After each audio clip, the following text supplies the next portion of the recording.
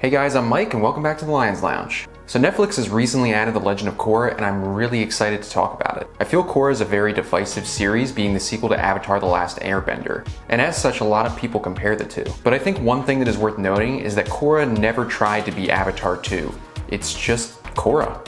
It's by no means perfect, but despite its flaws, I honestly feel that it's the more earnest and relatable series, and it's my favorite of the two.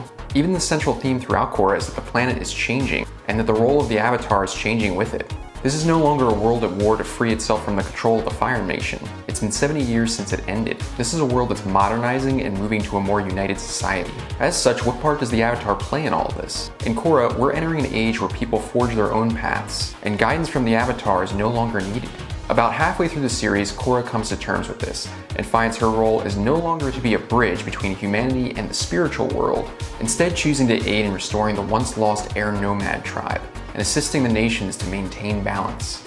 I could spend hours talking about the series as a whole, but for this video I want to focus on Korra and how she contrasts with Aang. As mentioned earlier, Korra is the new avatar, succeeding Aang, and it becomes apparent even from episode 1 that they are very different. Aang was extremely spiritual, but carefree and upbeat. He was a child forced into a century long war and tasked with toppling an empire. Korra, however, was raised in an age of peace and given ample amount of time to train with the best masters in the world. She's strong, outgoing, and extremely confident in her abilities. As such, despite fire being her opposing element, it was one of the first elements she picked up and one of the ones she uses most frequently. If Aang were a wacky kid, Korra's a rambunctious teenager. But it's also this aspect of her that I find the most intriguing in how it's explored. The original series was more about external growth. Aang needed to master all the elements to defeat the Fire Lord and restore balance. At the beginning of The Legend of Korra though, Korra's already learned most of the elements, with air being the only outlier and the most difficult one for her to master. But this I believe was also intentional. Mastery of air requires the exact opposite temperament that Korra has, and the one that necessitates mental growth far more than physical. And this is the main difference between Avatar The Last Airbender and The Legend of Korra. External versus internal development. No season demonstrates this more than the final one, Balance, in which Korra is recovering from physical and, more importantly, psychological damage inflicted upon her in the previous season. The primary conflict here isn't even the main antagonist. It's Korra herself striving to overcome the anxiety and depression that's holding her back. Keep in mind this was a show that aired on Nickelodeon aimed for kids. The original series definitely grew with its audience, but Korra is on a whole nother level. And as someone who strives to overcome their own anxiety, it was extremely relatable. If you haven't seen The Legend of Korra, both it and The Last Airbender are on Netflix, and I highly recommend both. And if you watched Korra back when it was airing and you didn't like it, I urge you to give it another shot. Like many great series, this one still resonates with me, and I hope you can find something to love about it too. So now, on to the drinks. I'm gonna make two today, one for Aang and one for Korra, mainly to demonstrate the contrast between the two, and I thought it would be fun to come up with some ideas for them.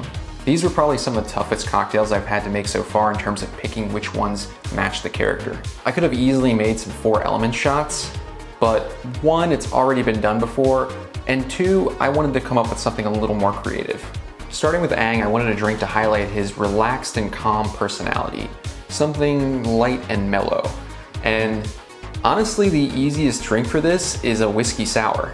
Now there's many different variations you can do for whiskey sour. You can use rye whiskey, bourbon, you can have an egg white, you can ignore the egg white. Playing around with this formula, I decided to use rye whiskey and I am gonna use an egg white and the main reason for this is when you incorporate an egg white into your whiskey sour, it doesn't impart an eggy flavor to it, it makes it creamier, it makes it very light and fluffy which goes with that whole theme of air. So first off, I'm gonna start with a egg white. Now, I recommend if you're gonna make a whiskey sour with an egg white to always crack the egg and use the egg white first because if you screw it up with all the other components, it's you have to dump everything. So first, one egg white. Next, half an ounce or 15 milliliters of simple syrup. This is a two to one simple syrup. If you are interested, I'll leave the recipe in the description below, but it's pretty simple to make. Next, three quarters of an ounce or 22.5 milliliters of lemon juice. And then lastly, two ounces or 60 milliliters of a rye whiskey. This is 100 proof, So it's gonna add some more power to the drink. Now, whenever you use an egg white, you have to do a dry shake first to emulsify the egg. The easiest method to do this is when you put in your shaker, make sure that both tins are straight down. Like, the reason for this is if you have it on an angle like I would normally shake it, and you're not careful, it could crack open and spill the contents not only on you, but if you have someone right in front of you, which is another reason why you should turn on an angle and shake.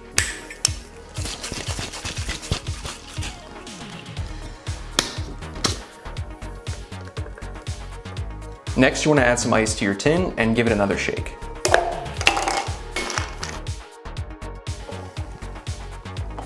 Now strain this into a chilled coupe. And I'm gonna double strain it just to get some of the ice chunks out.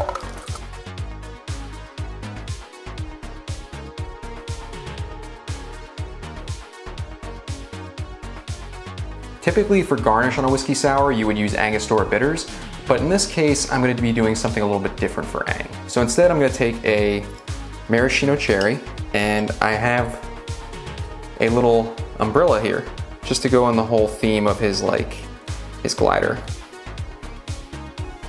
And there you have a whiskey sour, or as I will call it, the last sour bender. Cheers. I love a good whiskey sour, it's fantastic. I typically prefer using rye whiskey over bourbon because you already have that lemon juice to add some sweetness and some tartness, and the simple syrup too to add some sweetness as well. So the rye whiskey really balances that out. It really kind of adds a different dimension to the drink. This last cocktail is for Korra, and for this one, I really wanted to give it some more oomph something extra to express Korra's fiery and powerful personality, but also to have some sweetness. So for this one, I'm actually gonna be using some jalapeno pepper. Uh, so I would recommend you be a little careful with this because you could easily overpower the drink by using too much. I found after many tests a good balance to be one and a half slices of the pepper. Too much and all you tasted was the heat. Too little and it was almost not there at all. This was a perfect balance. So take your pepper and using a muddler, you're going to muddle that pepper to release some of the oils. Next, you're gonna want one ounce or 30 milliliters of lime juice.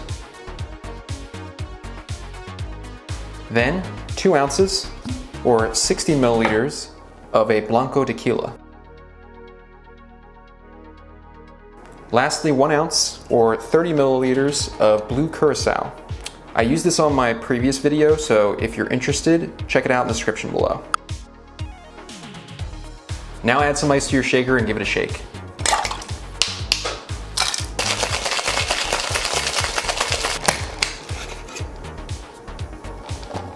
I'm gonna add some ice into a double old fashioned glass and then I'm gonna strain into that.